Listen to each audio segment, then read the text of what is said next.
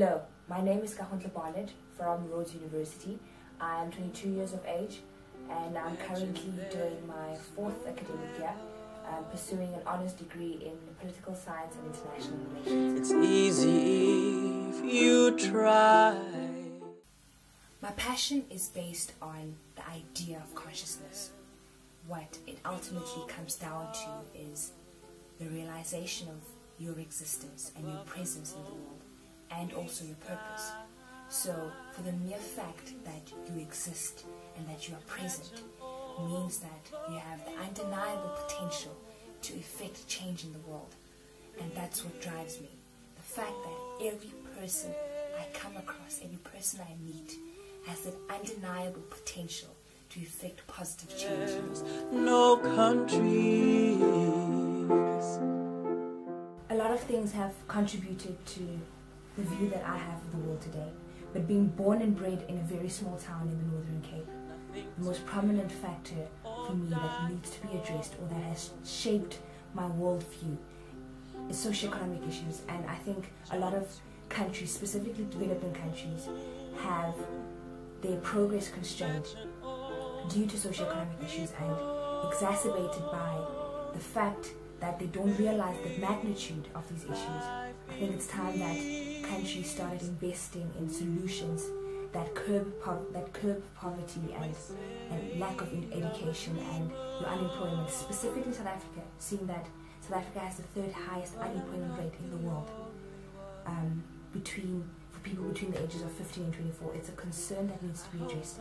And I think this could be achieved through prioritizing things like education and skills development initiatives. There is a lot going on in Africa at the moment, not only Africa but throughout the whole globe. There are a lot of injustices that have to be dealt with at the moment, not only in our immediate communities but throughout the whole of Africa and throughout the whole world.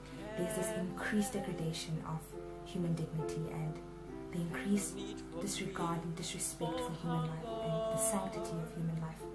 This is evident in the, the attacks, the Al-Shabaab attacks that are going on in Kenya, the and something that has been fading in the in the in the media recently, but which is quite still a reality, is the kidnappings of the Nigerian girls by Boko Haram.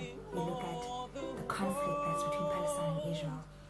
So many lives are being lost, and I think as the youth, seeing that the future is ours, we cannot afford to be apathetic anymore. We cannot afford to be ignorant anymore. It's time that we took an active stand against such things. It's time that we stood up and, and spoke against such injustices that are occurring in our, in our world.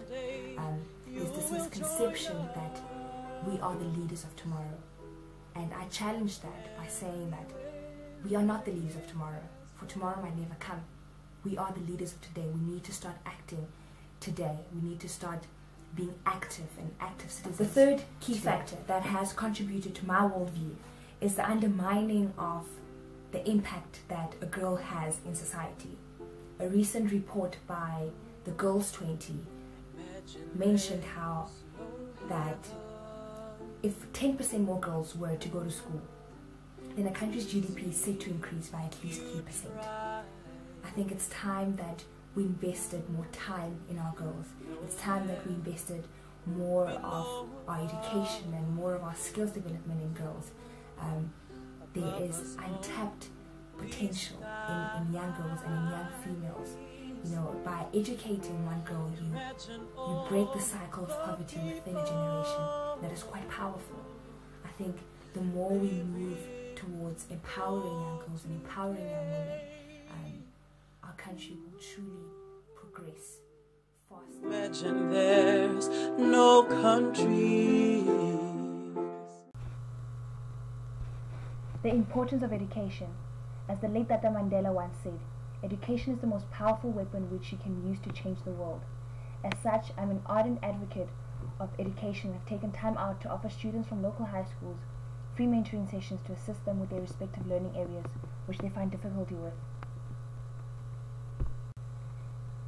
Secondly, active citizenship and serving others. As JFK once asserted, ask not what your country can do for you, but what you can do for your country. I believe that we all have something positive to offer, regardless of education, qualification, or circumstances. I want to firmly promote The idea of serving others and making a difference, however small.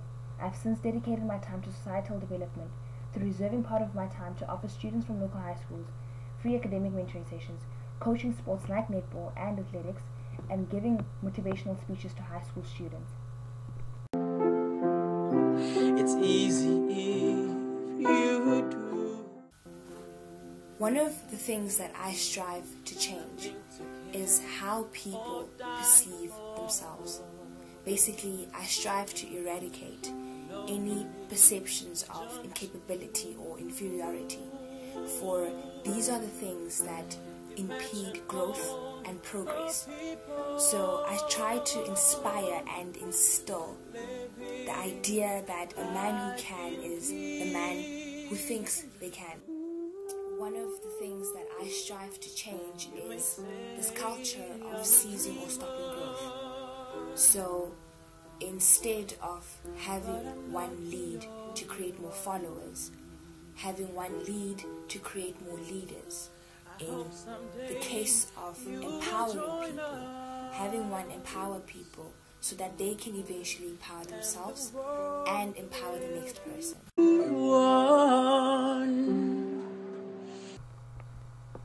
I was one of the five delegates that represented South Africa and Africa at large at the Y20 Australian Summit earlier on this year, of which I was also the youngest delegate from South Africa.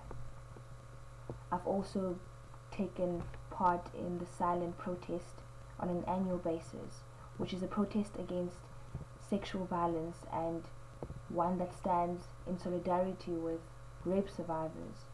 I have also been part of Residence Housecom and served as the head of sports and the treasurer.